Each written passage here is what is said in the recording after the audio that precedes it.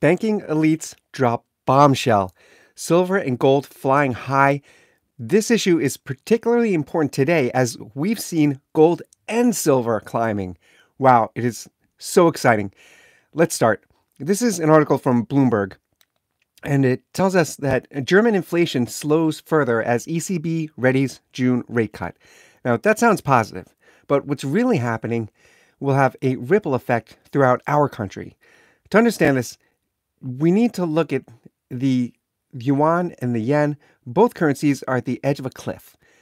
Consumers' prices rose an annual 2.3% last month. This is according to this Bloomberg article. 2.3% last month, according to this the statistics office. This is data from Germany, and that is down from 2.7% in February.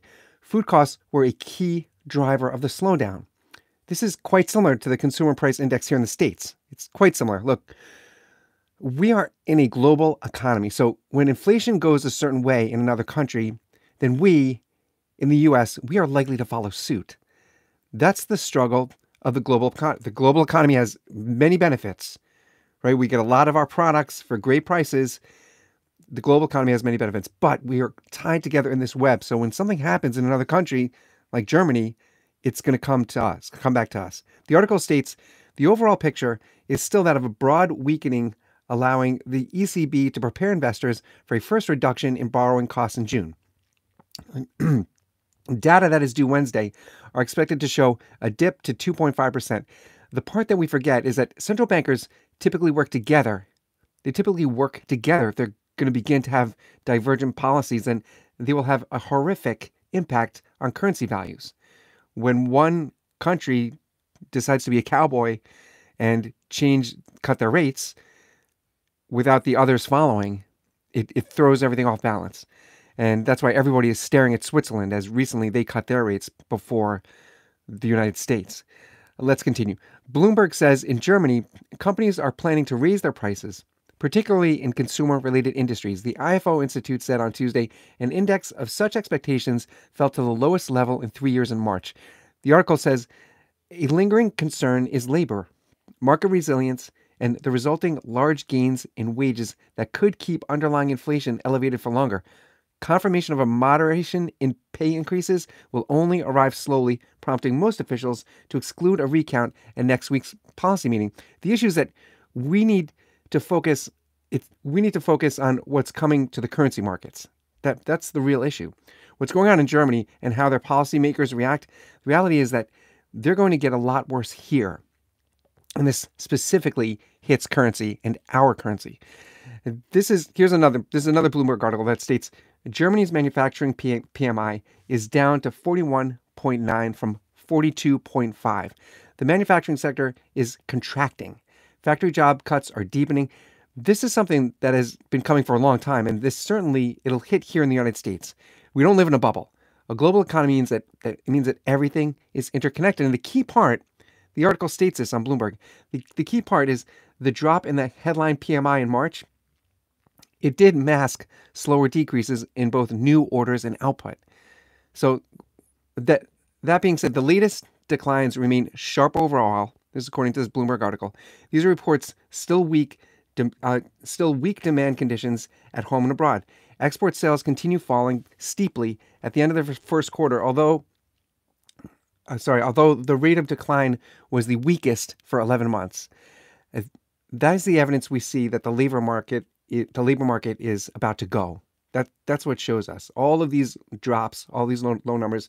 Central bankers are always hyper focused on wage increases. We all are focused on wage increases. We, as normal, regular, everyday people that wake up and we are part of the workforce, of course, we also are focused on wage increases. But if demand goes away, then demand for your currency also goes away. That's a massive problem. Typically, typically, hourly wages follow inflation, but employees want their workers to be able to purchase products.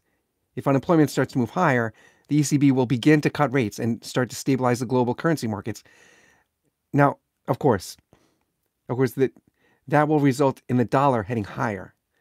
This is how the dollar gets messed with from what goes on in other countries like Germany. This article says that ECB warned last week against pulling too much emphasis on salaries, putting too much on. It said the euro's fragile economy needs workers' pay to catch up with prices in order to sustain the kind of recovery they hoped will gradually take hold. What happens after monetary easing begins is unclear, just as we're seeing here in our country. Several officials have stressed the need to remain data dependent and judge developments on meeting by meeting basis, even as others appear to back more rapid loosening. Central bankers in Europe are struggling with the same quantitative easing that we are here in the States. It's the same thing. I've said this before. We are in new territory with quantitative tightening, quantitative e- quantitative easing. This is new territory because we've never done this on such a massive, enormous scale. No one really knows how to pull out, how this is going to work. How we're, you know, as we pull out and we try to have this soft landing. Really, the reality is that central bankers are just telling us to hold our nose and jump in the deep end and hope that we could swim. And what it tells us, you and I as silver stackers, tells us that to be our own bank is really the smartest thing to do. I mean, look at silver, not this silver, but just generic. Look at silver today. Silver is at over $27 today. We haven't seen that in a long time. We've been waiting for silver to jump. It is finally jumping.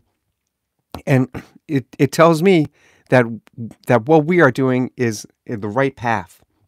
Rather than waiting for these elites in the banking world to make their decisions and do this balancing act, I say, and I'm not a financial advisor. I'm just I'm just a regular guy stacking silver. I say, be your own bank and and stack precious metals as much as you can. Even though silver is at twenty seven dollars, that's still within within reach.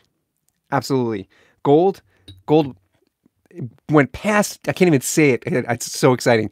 Gold went past twenty three hundred dollars. There was like twenty three ten when I checked today.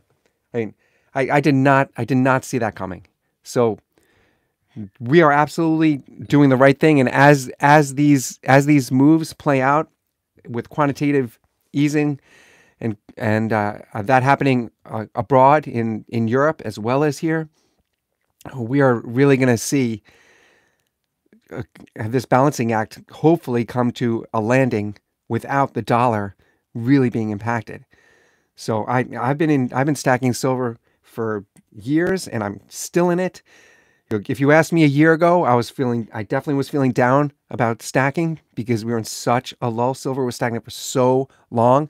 And now to see that price finally go up and move up, I mean, this has been a couple of days now. This has been a great week for silver price, moving up and up.